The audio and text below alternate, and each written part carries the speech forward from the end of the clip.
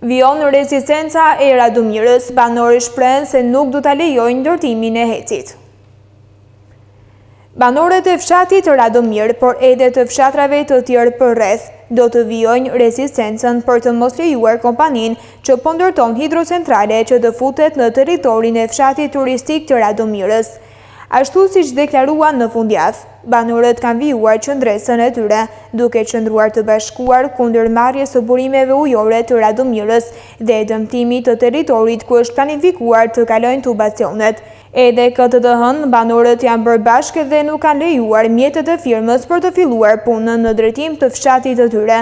Të kontaktuar nga ana jonë, banorë të Radomirës thanë se do të vazhdojnë të jenë qëndrestarë për të mbrojtur fshatin e tyre. Sipas banorëve, kauzës i janë bashkuar edhe shumë banorë të fshatrave të tjerë përreth, pasi zhvillimi i turizmit në Radomirë përkthehet edhe për to në të ardhura ekonomike.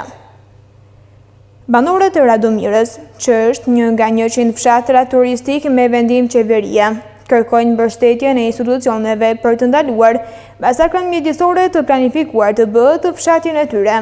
Ata kanë bërë gati edhe një peticion, të cilin pritet t'ia dërgojnë Ministrisë së Turizmit dhe Mjedisit si dhe kryeministrit Edi Rama.